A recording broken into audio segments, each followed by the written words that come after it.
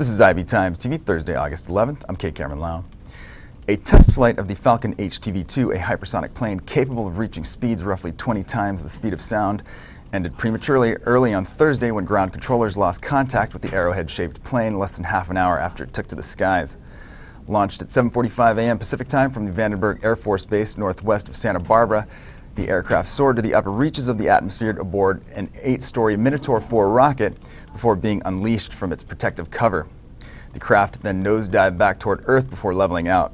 Instead of speeding westward for 30 minutes before plunging into the ocean about 4,000 miles from Vandenberg, as originally planned, at approximately 20 minutes into the flight, an announcement was made by the DoD's Advanced Research Facility known as DARPA via Twitter stating, quote, range assets have lost telemetry.